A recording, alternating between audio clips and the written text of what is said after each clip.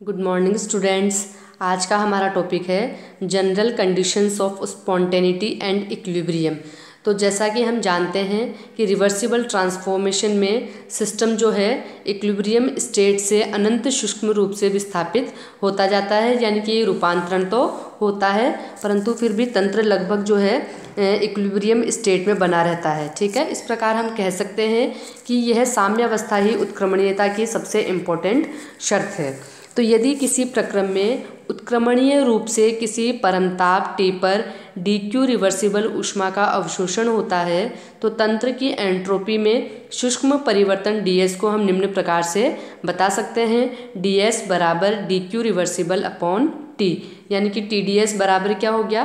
Q reversible तो यदि प्रक्रम में रूपांतरण इरिवर्सिबल रूप से होता है तो वह प्रक्रम स्वतः प्रवर्तित होता है, यानी कि स्पॉन्टेनियस होता है, अर्थात उसकी एक ही दिशा होती है, यह प्रक्रम यूनिडायरेक्शनल होता है, और ऐसा तभी पॉसिबल है जब T D S is greater than Q reversible यानी कि समीकरण 144 जो है, वो स्पॉन्टेनिटी की कंडीशन है। यानी कि समीकरण एक और एक का जब हम कॉम्बिनेशन करते हैं तो समीकरण 145 प्राप्त होती है, जो क्या है? T D S is greater than और इक्वल टू क्यू रिवर्सिबल। तो यहाँ जो बराबर का चिन्ह है, वो उष्मा के उत्क्रमणीय अवशोषण, यानी कि उत्क्रमणीय रूपांतरण तथा जो असमानता का चिन्ह है, वो उष्मा के अनुत्क्रमणीय अवशोषण, यानी कि प्रोसेस के रिवर्सिबल ट्रांसफॉर्मेशन को प्रदर्शित करता है। ठीक है? तो इस प्रकार समीकरण 145 में असमानता जो है, वो स्पॉन्टेनिटी और जो समानता है, वो इक्लिब्रियम स्टेट की कंडीशंस है। ठीक है? अब है उष्मागतिकी के प्रथम नियम के अनुसार, यानी कि डी ई बराबर Q माइनस डब्ल्यू यानी कि Q बराबर क्या हो गया? Change in internal energy plus work done यानी कि समीकरण 145 और 146 के द्वारा जब हम मान रखेंगे तो समीकरण क्या प्राप्त होगी? आपके T D S is greater than और equal to D E plus W अब यहाँ हम करेंगे पक्षांतरण तो T D S minus D E minus W is greater than और इक्वल टू ज़ीरो चूँकि हम जानते हैं डब्ल्यू बराबर क्या होता है? पी डी वी होता है। इसलिए T D S minus D E minus P D V is greater than और इक्वल टू ज़ीरो ठीक है? तो समीकरण 148 जो है, वो रूपांतरण की साम्यावस्था और जो आपके असमानता वाला चिन्ह है, वो स्पॉन्टेनिटी की कंडीशंस को डिटरमाइन करता है। और यहाँ पर D S D E D V और जो डब्ल्यू है, वो ट्रांसफॉर्मेशन में होने वाले entropy change internal energy change और वॉल्यूम में चेंज तथा किए गए कार्य है। ठीक है? अब है आपके कंडीशंस ऑफ़ थर्मल इक्विलिब्रियम यानी कि तापीय साम्य की शर्तें, ठीक है? तो किसी तंत्र की वह अवस्था, जबकि तंत्र के प्रत्येक भाग का ताप समान हो तो उसे हम बोलते हैं तंत्र की तापीय साम्यावस्था या हम बोलेंगे थर्मल इक्विलिब्रियम स्टेट। तो तापीय साम्यावस्था की शर्तें निर्धारित करने के लिए हम एक आइसोलेटेड सिस्टम पर विचार करते हैं। तो आइसोलेटेड सिस्टम ऐसा सिस्टम होता है जो कि सराउंडिंग से न तो ऊर्जा का और न ही मैटर का एक्सचेंज करता है। यानी कि इस सिस्टम के द्वारा किया गया कार्य और ऊर्जा दोनों ही जो है अपरिवर्तित रहते हैं। यानी कि change in internal energy equal to zero and work done P D V बराबर ज़ीरो, यानी कि दाब आयतन कार्य का मान भी क्या रहता है? आइसोलेटेड सिस्टम के लिए ज़ीरो। तो ये दोनों मान अब हम समीकरण वन फोर्टी एट में रिप्लेस करेंगे। तो टी डी एस की वैल्यू क्या जाएगी? T D S is greater than और इक्वल टू ज़ीरो। यानी कि हम बोले delta S is greater than और इक्वल टू ज़ीरो। यानी कि समीकरण एक सौ उनचास से स्पष्ट है कि आइसोलेटेड सिस्टम की एंट्रोपी हमेशा बढ़ती रहती है और इक्विलिब्रियम स्टेट पर ये मैक्सिमम हो जाती है, ठीक है? तो ये सिद्ध करने के लिए कि विलगित तंत्र के प्रत्येक भाग में ताप का मान समान रहता है, इस तंत्र को हम दो भागों में डिवाइड कर लेते हैं। एक भाग से दूसरे भाग में माना कि क्यू रिवर्सिबल उष्मा प्रवाहित होती है, ठीक है? तो यदि डी एस वन तथा डी एस टू भाग एक एवं भाग दो में क्रमशः एंट्रोपी चेंज और टी वन और टी टू इन भागों के टेम्परेचर हो तो समीकरण एक से हम जानते हैं कि T one D S one बराबर क्या हो जाएगा? माइनस क्यू रिवर्सिबल यानी कि प्रथम भाग से उष्मा निकल रही है। तो इस समीकरण को हम रीअरेंज करके कैसे लिखेंगे? डी एस वन बराबर minus Q reversible upon T one इसी प्रकार से T two D S two बराबर क्या हो गया? प्लस क्यू रिवर्सिबल यानी कि डी एस टू बराबर क्या हो गया आपके? Q reversible upon T two यानी कि दूसरे भाग द्वारा उष्मा अवशोषित हो रही है। ठीक है? यानी कि T one is greater than T two तो एंट्रोपी में कुल चेंज क्या होगा? चूँकि हम जानते हैं कि एंट्रोपी जो है, वो एक पॉजिटिव वैल्यू होती है तो डी एस बराबर D S one plus D S two यानी कि डी एस बराबर minus Q reversible upon T one plus Q reversible upon T two ठीक है? यानी कि डी एस बराबर क्यू रिवर्सिबल यहाँ पे कॉमन आ जाएगा। तो आ, क्या मान आएगा? ब्रैकेट में minus one upon T one plus one upon T two जिसे हम रीअरेंज करके कैसे लिख सकते हैं? डी एस बराबर one upon T two minus one upon T one Q reversible ठीक है? तो यदि उष्मा का प्रवाह जो है वह स्वतः है, यानी कि नेचुरल है स्पॉन्टेनियस है तो समीकरण एक सौ उनचास के अनुसार D S is greater than zero होना चाहिए, ठीक है? यानी कि one upon T two minus one upon T one Q reversible is greater than zero होना चाहिए? यानी कि one upon T two minus one upon T one is greater than zero और ये कभी संभव है जब T one is greater than T two यानी कि उष्मा का जो प्रवाह है फ्लो ओ हीट जो है, वो टी वन से निम्न ताप टी टू की ओर स्वतः प्रवाह होता है। ठीक है? यदि तंत्र जो है वो साम्य अवस्था में होने पर, चूँकि हम जानते हैं डी एस बराबर क्या होगा? ज़ीरो होगा साम्य अवस्था की स्थिति में तो one upon T two minus one upon T one Q reversible बराबर क्या हो जाएगा? ज़ीरो हो जाएगा।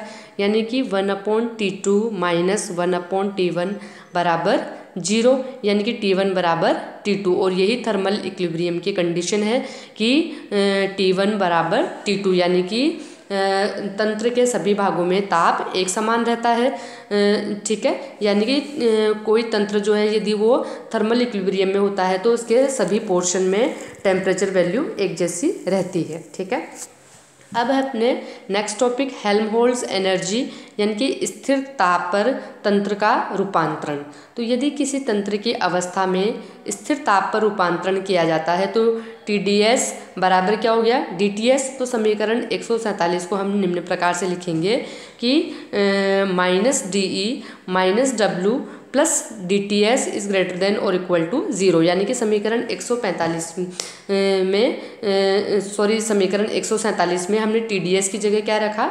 डी टी एस ठीक है?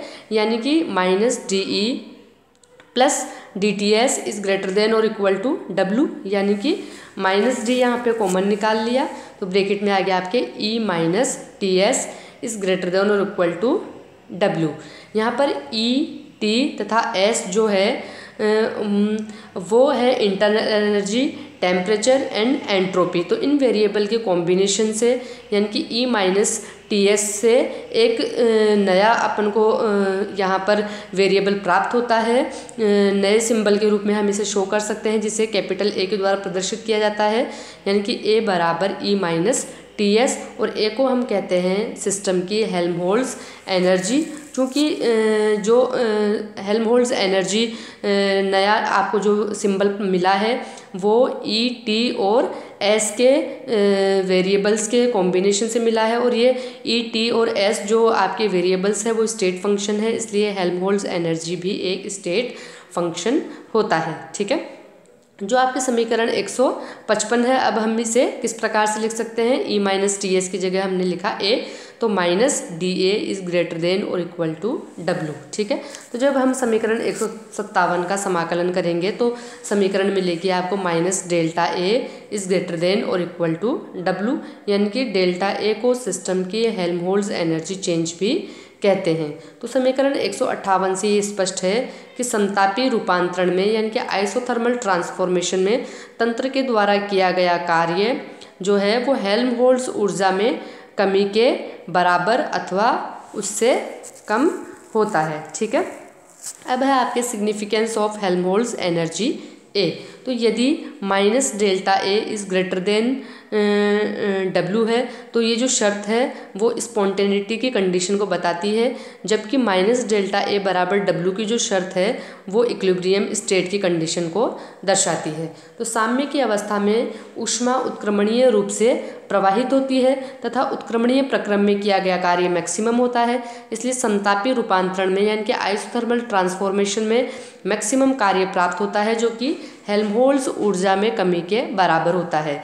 यानी कि हम कह सकते हैं कि हेल्महोल्स ऊर्जा में जो कमी है, वो अधिकतम कार्य के बराबर होती है। ठीक है? यानी कि हम बोलें कि माइनस डेल्टा ए बराबर डब्ल्यू मैक्सिमम ठीक है? अब नेक्स्ट है अपने। गिब्स ऊर्जा यानी कि स्थिर ताप व स्थिर दाब पर रूपांतरण, ठीक है? तो किसी भी तंत्र की अवस्था में रूपांतरण जब स्थिर ताप और स्थिर दाब पर किया जाता है तो स्थिर ताप पर जो ट्रांसफॉर्मेशन होता है उसके लिए टी डी एस बराबर उसे हम लिख सकते हैं डी टी एस और स्थिर दाब पर पी डी वी बराबर उसे लिख सकते हैं डी पी वी ठीक है? तो स्थिर दाब और स्थिर ताप की अवस्था में समीकरण 148 को हम निम्न प्रकार से लिख सकते हैं, यानी कि माइनस डी ई और वर्क को लिखा हमने यहाँ पे, minus D P V plus D T S is greater than और इक्वल टू ज़ीरो। चूँकि इस अवस्था में तंत्र में दाब आयतन कार्य के अलावा अन्य कार्य भी होते हैं तो अन्य कार्य को हम डी डब्ल्यू ए से व्यक्त करें। तो minus D E minus D P V plus D T S plus D W A is greater than और इक्वल टू ज़ीरो ठीक है? यानी कि minus D E minus D P V plus D T S is greater than और equal to D W A ठीक है? यानी कि माइनस डी यहाँ कॉमन निकाल लिया तो ब्रैकेट में आ गया आपके। E plus P V minus T S is greater than और equal to D W A यानी कि जिसे हम बोले कि ई प्लस पी वी क्या होता है?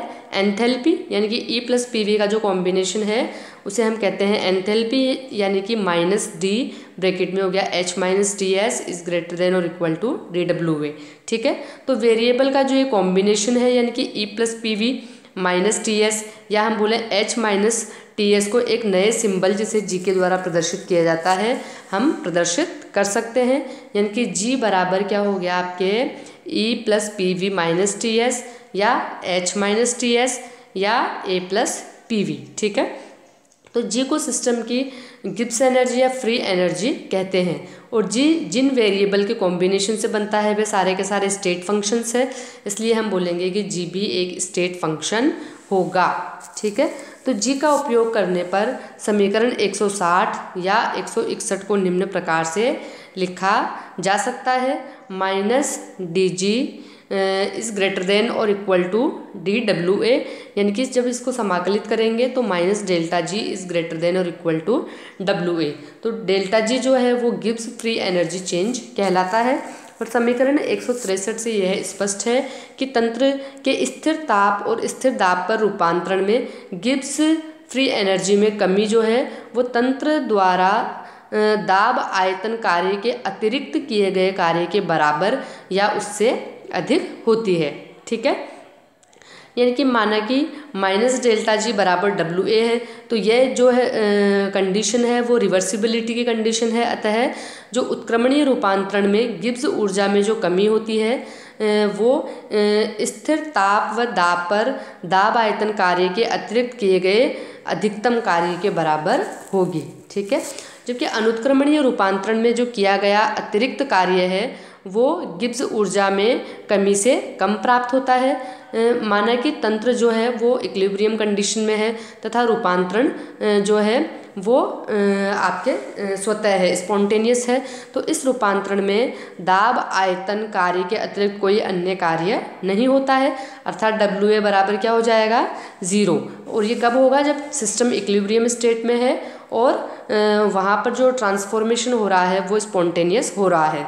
तो समीकरण एक क्या रूप ले लेगी। Minus delta G is greater than और इक्वल टू ज़ीरो। या हम बोले कि D G at the constant temperature and pressure is less than और इक्वल टू ज़ीरो, ठीक है? और फाइनाइट चेंज के लिए delta G at the constant temperature and pressure is less than और इक्वल टू ज़ीरो, ठीक है? तो साम्यावस्था की स्थिति में समीकरण एक सौ चौंसठ के द्वारा माइनस डेल्टा जी बराबर ज़ीरो, और यही जो है वो स्पॉन्टेनिटी की कंडीशन में क्या हो जाएगा? आपके minus delta G is greater than to zero, यानी कि इक्विब्रियम स्टेट में है जब आपके प्रोसेस तब माइनस डेल्टा जी बराबर ज़ीरो। एंड जब आपके स्पॉन्टेनियस है प्रोसेस तब minus delta G is greater than zero होगा। या हम बोले कि delta G is less than zero होगा। तो इस प्रकार हम देखते हैं कि उष्मागतिक प्रक्रिया की साम्यावस्था तथा स्वतः प्रवर्तिता, यानी कि इक्विब्रियम स्टेट एंड स्पॉन्टेनिटी को डिटरमाइन करने में गिब्स फ्री एनर्जी का बहुत इंपॉर्टेंट रोल होता है, ठीक है? तो एक रासायनिक अभिक्रिया के रेफरेंस में यदि हम देखें तो यदि डेल्टा जी अगर नेगेटिव है किसी भी केमिकल रिएक्शन के लिए तो वो जो रिएक्शन है वो स्वतः प्रवर्तित होगी स्पॉन्टेनियस होगी, यानी कि नेचुरल उसमें चेंज देखने को मिलेगा, ठीक है? फिर दूसरा है, यदि आपकी delta G equal to zero है तो ये अभिक्रिया जो है, वो इक्विलिब्रियम स्टेट में होगी, यानी कि जो परिवर्तन है, वो साम्य में होगा। साम्य में होगा। फिर तीसरा है आपके, यदि डेल्टा जी धनात्मक है तो क्या होगा कि डेल्टा जी अगर आपके धनात्मक है तो अभिक्रिया स्वतः प्रवर्तित नहीं होगी। अर्थात जो प्रक्रम है, वो नॉन स्पॉन्टेनियस होगा और हम बोले कि अपोजिट डायरेक्शन में अभिक्रिया स्वतः होगी। ठीक है? तो उपयुक्त तीन बिंदुओं के आधार पर गिब्स ऊर्जा परिवर्तन को किसी तंत्र अथवा रासायनिक अभिक्रिया की स्वतः प्रवर्तिता तथा साम्यावस्था के लिए हम आधार बना सकते हैं। ठीक है?